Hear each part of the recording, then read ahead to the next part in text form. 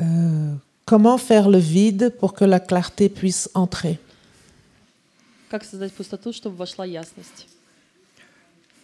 C'est la clarté qui fait le vide. Это ясность и создает пустоту.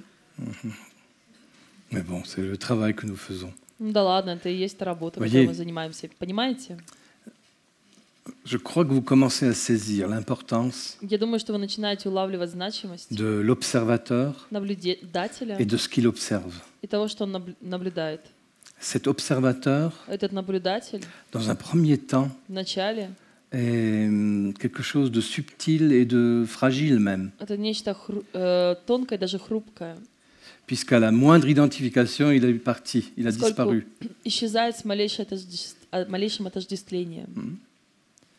Mais cette fragilité, cette subtilité de l'observateur nous donne déjà un indice. Il n'est pas sclérosé. Il n'est pas fixé sur quelque chose. Il est comme une énergie qui circule tout le temps. Et qui circule tout le temps dans quoi? Mais oui, dans la vacuité dans le vide. Si l'observateur n'est pas vide, il ne peut pas observer, il ne peut pas faire rentrer en lui ce qu'il observe. Vous saisissez? C'est une des caractéristiques de l'observateur. C'est qu'il doit être vide d'analyse, de critique, de jugement. Il doit être vide. Il doit être vide d'idées préconçues. Mais c'est sa nature d'être comme ça.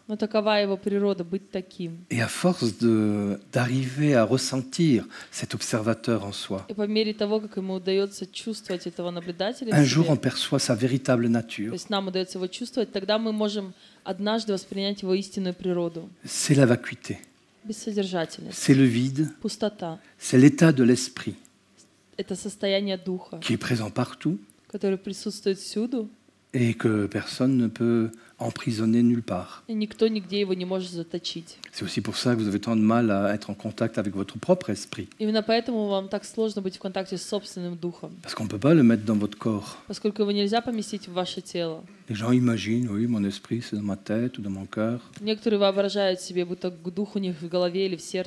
ce n'est pas ça du tout. Et c'est parce que c'est tellement impalpable, И поскольку это с- м, столь не, к этому настолько нельзя прикоснуться, insaisissable, невозможно уловить, que les êtres humains se font des idées sur l'esprit. что люди о духе воображают всякие идеи. Non, Нет. quand on a suffisamment l'expérience de l'observateur, Когда у нас достаточно опыта наблюдателя, un jour on se rend simplement compte, однажды мы просто осознаем, mais cet observateur, что этот наблюдатель c'est moi, — это и есть я, c'est totalement moi, это тотально я. et ça n'a aucune limite. И у этого нет никаких границ. Cet observateur est capable de tout prendre en lui, И этот наблюдатель способен все вбирать в себя. pas tout de suite, Не сразу. mais c'est une vacuité, Но это un бессодержательность, vide пустота, qui n'a pas de limite. у которой нет границ. Et le seul moment où, И единственный момент, où de toute façon tout être humain en fait l'expérience. C'est à un moment dans le processus de la mort. Soudain, cet esprit se révèle et il va jusqu'aux confins des univers. Et après, il revient. И потом возвращается, pour continuer à préparer la prochaine incarnation. чтобы продолжать готовить следующее воплощение. Mais bon, Ну да ладно, on va continuer. продолжим. Euh, une question. Vous avez compris que tant que j'ai quelque chose dans ma main, Вы поняли, что пока у меня что-то есть в руке, ma main ne peut plus prendre autre chose là. моя рука больше ничего другого взять не может. Et l'observateur, c'est comme ça. Наблюдатель такой же.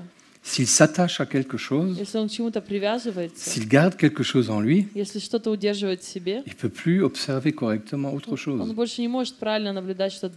Donc il ne peut pas avoir une idée sur les choses. Il ne peut pas avoir un jugement, une critique, une opinion. Ce n'est pas l'observateur.